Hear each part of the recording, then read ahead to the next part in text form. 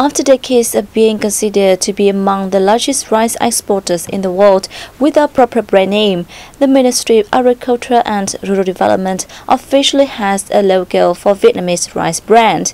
Experts said that the branding move will be a turning point for great momentum for Vietnamese rice production and trade. In 2012, Vietnam surpassed Thailand's rice export volume to stand in the top ranking globally.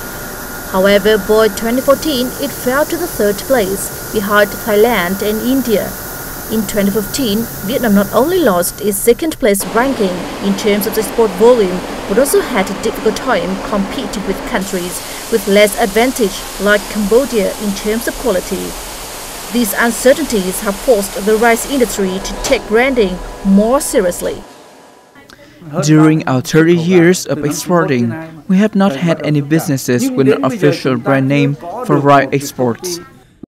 Determined to recapture and maintain its position as a rice export powerhouse, in May 2015, the Prime Minister approved a scheme to develop Vietnam rice branding. By the end of 2018, the ministry had selected an official logo for the national rice brand in Vietnam and was granted an international registration number by the World Intellectual Property Organization.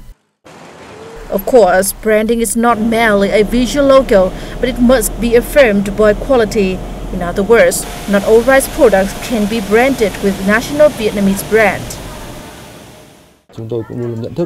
We are aware of the brand name that any products that, when affixed with the national brand, must firstly ensure quality.